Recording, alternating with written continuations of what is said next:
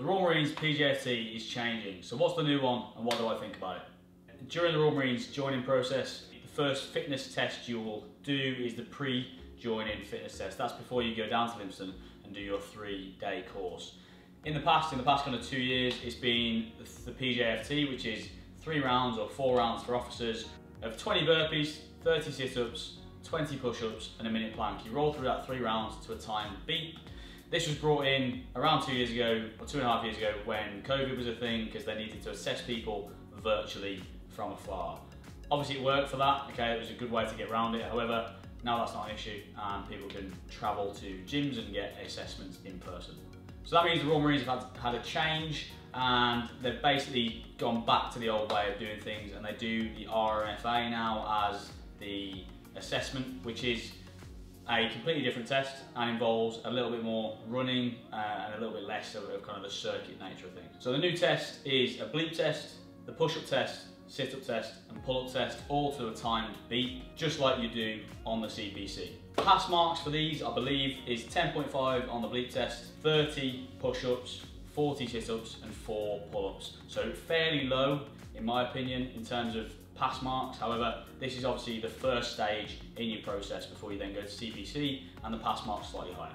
I personally think this is a move in the right direction though because the test before had zero running in it. So what that meant was people were passing that test or, or certainly looking at that test thinking, okay, I don't need to run, so I'm just gonna do that circuit over and over again repeatedly until I get better at it. They were doing that, achieving that pass mark for the circuit, going down to Lympstone for their CPC where they actually had to run, do some bleep tests, do obviously the endurance course, etc., those kind of bits, and coming unstuck because some of them haven't run a mile before. So what this allows people to do is look at the, the test in front of them, see the bleep test and say, okay, well, I've got to reverse engineer that a little bit and think about some running progressions I need to put into my training before I actually get to Lympstone and get found out that I haven't been training properly. Whilst I do think this test is a move in the right direction, I still think it's a little bit dated. The Marines have been doing the push-ups, pull-ups and sit-ups test for as long as I can remember, certainly when I was in and before that. It just seems like they're set in their ways a little bit and I feel like a reinvention should come soon because the ability to do push-ups and sit-ups is pretty much useless when it comes to the actual phys you're going to be doing on bottom field or, or carrying a Bergen or whatever it may be. It doesn't demonstrate any sort of lower body strength, doesn't really demonstrate any proper core strength, just means you can do sit-ups, which is two different things. Um, and it doesn't mean that you're going to be robust enough to go through training. Whereas a test that had maybe more of a strength element would potentially illustrate that. So in terms of how to train for this new test then, obviously the old test was pretty self-explanatory. People just generally were doing the circuit more and more and more and getting more confident with it, which is, tends to be what happens. If you've got a workout and you do it repeatedly every week, then you're gonna get better at it. That's no shock. However, the new test is a little different. Obviously, you have to achieve certain pass marks. So you shouldn't really be applying to the Royal Marines or certainly not accepting your fitness, fitness test date if you can't do any of these standards. And they're fairly low anyway, so it shouldn't take you too long to get to that standard if you've got the right training program. But the way I would train for the bleep test specifically is probably eight to 10 weeks of aerobic base building. So you want to be running a little bit, little bit slower, making sure you're building some time on your feet, building some aerobic efficiency, and then specializing in the last kind of two to four weeks of the program in specific bleep test work. So that means working on your turns, acceleration, deceleration, making sure that you're familiar with the bleep and the timings, etc. So you're not shocked when you get to the get to the test. I actually have a video which I'll link here that describes how to train for the bleep test, which I made a couple of months ago. For the rest of the assessments then, obviously you still need to be doing push-ups, pull-ups and sit-ups. That's not changing, okay? That was what you have to do for the, for the PJFT anyway. However, you'll have to just now look at them as one singular test. So before it was, like I say, the three to four sets of 20 uh, push-ups in, in one go. Now you're gonna have to do 30 to the beat without stopping and no, no rest. So you're gonna have to get used to that bigger set. I do think that's a little easier, to be honest, because you haven't now got to do 60 reps total, you've just got to do one set of 30. However, you need to be training a little bit muscular endurance. The thing I think people come unstuck with in the push-up test is actually the ability to hold the plank position for long enough. So if we think about 30 reps to the beat is probably about 60 to 90 seconds. of actually holding that specific position. If your core isn't strong enough to facilitate that, then you forget about the test. You're not even gonna be able to hold the position. So make sure you can hold a plank, a straight arm plank for a good enough amount of time. And so that means two to two and a half minutes probably. So you're not even thinking about your core when you're going through the test. And then obviously we need to be thinking about push-up strength as well. So the standards for the push-up test are very, very simple. So tucking your elbows in, fingers and thumbs together, head and eyes up, good strong position for the, from the core. And obviously we just keep up with the beep as, as we go through. And like I said, 30 is the minimum, minimum standard. In terms of an actual actionable workout you lot can take away with you then, I would look at something like this. So we're gonna take two minutes as the time period. Every 10 seconds, you're gonna do a rep. Okay, so two minutes, you're gonna hold a straight armed plank. Every 10 seconds, you're gonna do a push up. This obviously gets you used to holding a plank position for an Uh, elongated period of time and moving through that range of motion and accruing reps.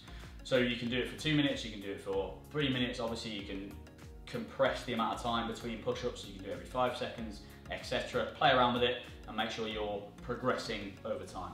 Okay, the next portion of the test then is the sit-up test. So again, super simple in terms of reps. Obviously you've got to do 45 reps to the beep and then you'll be able to on the day hopefully hit that 35 or 40 rep range. So you want to be obviously above the test standard before you go down there. Making sure your knees are staying together throughout the entire test. That's something that people fall foul of pretty, pretty frequently. Uh, and making sure that you're training the sit-up test with your feet anchored underneath something. When you come to do the test, both in the uh, PJFA and in the CPC, your feet will be held down by something. So it makes sense to train that way, right? If we're doing our sit-ups without our feet anchored, they're a completely different movement and they target different muscles and different muscles get tired at a quicker rate. So make sure your feet are anchored under a sofa or a treadmill or your mate's holding them down, whatever it is. Your knees are staying together and we're coming up and down through full range of motion for those 35 to 45 reps. Again, in terms of a little drill you can do to increase your sit-up ability, you can go every two minutes and you can pick a actionable, sustainable number of sit-ups you can do. So I would say something like 15 to start with. So 15 sit-ups with good solid form and then you're gonna go into a 30 second hollow hold, which I'll put a video of in front of the screen. So you'll do those two in the same two minute window and then four sets, five sets, however many you can manage in the initial phase and then obviously add sets and add reps as you go through your program. A quick one with the sit-ups, again, keeping your knees together is super important. The way we sort of drill that and the way I get my athletes to cue themselves is to hold something in between the, in between the knees because the tireder you get and the more fatigued you get throughout the test, the less you're thinking about keeping those knees pinned together. So what I use is a piece of paper, you can use a lifting strap, anything that's super light and super thin to hold your knees together and make sure that throughout the test they actually stay locked in. Okay then, so the final part of the test will be a pull-up test. Arguably this is the hardest part, right? Pull-ups are something that people struggle with pretty frequently. Even getting your first pull-up is something that people work for a long, long, long time to achieve. So hitting four of them to a time beat for some people could be really, really difficult. Some people are going to fly through that. So if you're on the first end of the spectrum where it's something that's quite new to you, maybe you've got limited upper body strength, maybe you're quite heavy, okay, so it's difficult to get yourself up to the bar. Then a couple of things you can do and implement into your training is anything that's vertical pulling, so lat pull down is a great place to start. If we can just, just do that nice and light, get used to the movement, and then increase and increase until you can pretty much lat pull down your body weight for 10 to 12 reps. That's a really good place to be. Once we can do that and we're comfortable in that plane of motion, we can then go onto the bar and hit some banded pull-ups. So again, what we want to be doing is fighting for perfect technique. So we don't want to be learning and ingraining bad technique. So making sure that the band we choose is, is nice and supportive. So super thick band at the start and we hold really, really good form and hold the pull up at the top, make sure you get into a dead hang at the bottom, all those kind of things. And over time, again, we can chop away at the band we're using, making sure the resistance is, is coming down and down and down as we get stronger. Uh, and we can add in some different progressions in terms of body weight rows, making sure our pulling strength is there for that, that pull-up test. This is something that's probably gonna take you three to six months, depending on your current ability. So don't be rushing the process, don't be kind of really impatient with it. a lot of my clients, it takes them a long, long time to just add two to three reps to their max pull-up score because it's one of those things, it takes a long time. If you're someone with excess body weight, then I advise you lose that because that's just extra kilos you've got to pull up to the bar. It makes it super difficult if you've got excess body weight. So once you're there and you can do your first pull-up, maybe you can do a couple, okay, with, with a bit of struggle, then we need to think about actually getting in time with the soundtrack, in time with the beep. So the soundtrack, if you've never heard it, it beeps, you hold at the top, it beeps and you go down to the bottom. So it's full range of motion, it's full dead hang, full dead stop, uh, which is really difficult. It requires a lot more strength than just banging them out. So making sure you're comfortable holding at the top of the pull-up bar and making sure your grip strength's strong enough so that we can actually hold, hold our body weight for a period of time. Same as the push-up, holding that position. So making sure we're doing loads of dead hangs and loads of chin over bar holds to strengthen that top position and strengthen the bottom position. And obviously doing those progressions I mentioned before to strengthen the actual range of motion throughout the pull-up. And there we have it guys. Okay, so new PJFA, it's a, this, like I say, the first fitness test you do on your road to becoming a Royal Marines Commando. So it's now changed, okay, it's, it's altered. If we haven't been doing bleep test work before, now we need to be getting getting amongst it, okay, and getting out on doing our runs, I know it's winter, I know it's cold, we need to get outside, doing our runs, make sure we're doing bleep test work, make sure we're getting used to it. Um, and obviously the push-ups, pull-ups, sit-ups, as I've mentioned, we can work on those, okay? And they should be okay anyway, because we had our eyes on the PJFT, which now is null and void, which trust me, is as much of a fucking drama for me as it is for you, because I had to go through 80 weeks of programming at my academy, change them all, because it has to stay up to date. Speaking of that, the link in the description will be my academy. So the top link, if you pick, uh, click that, there'll be a seven day free trial on my academy. Again, that takes you through an entire process of training phases. Like I say, it's now 80 weeks deep. So however long you need it for, it'll be there uh, and you can obviously follow along until you get to where you need to be. Any questions or comments, bang them down below and I'll see you guys in the next video.